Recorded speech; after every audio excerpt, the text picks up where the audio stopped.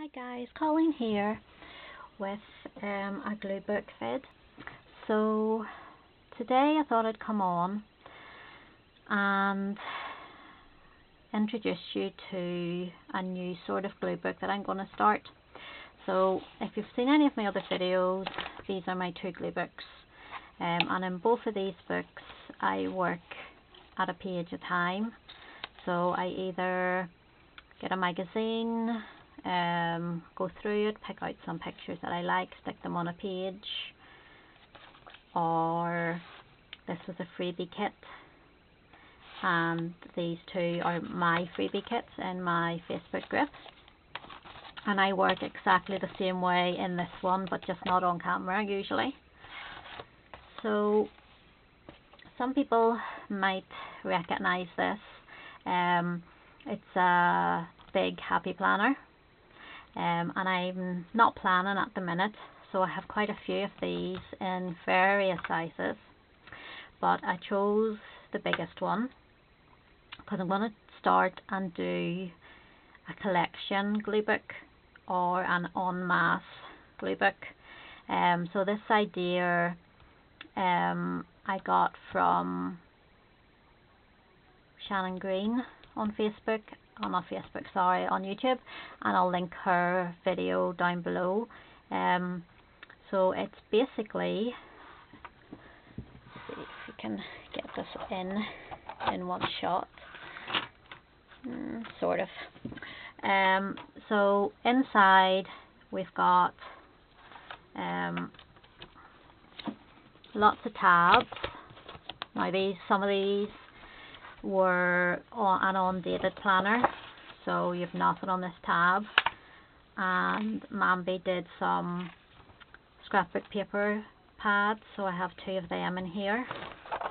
And then this is a planner page. And then you've got a new section another tab. So this one has October on it so I'll need to cover that up. So basically you make a list of things that you want to put into the sections of your glue book. So for example, my first section is going to be butterflies. And so I'll pop butterflies on the tag and then whenever I find a picture of a butterfly that I like, I'll come here and I'll stick it down. Um, so the next one will probably be dragonflies and again every time I find a dragonfly image I'll come in and stick it in that section. Now the good thing about the Happy Planner is if I don't find a lot of pictures of something I can easily take a page out or if I have too many and need another page it's really easy to pop a page in.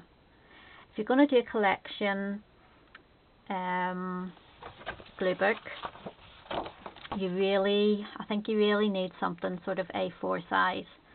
Um, you could use a sketch pad.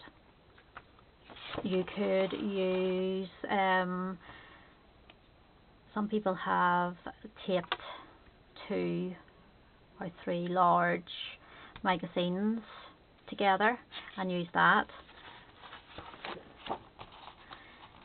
So all these pages will be full of different things. So this might be purple flowers this section. Um, and how many sections you want um, is up to you. So this one actually I have some memory keeping in here. This is what I use this for.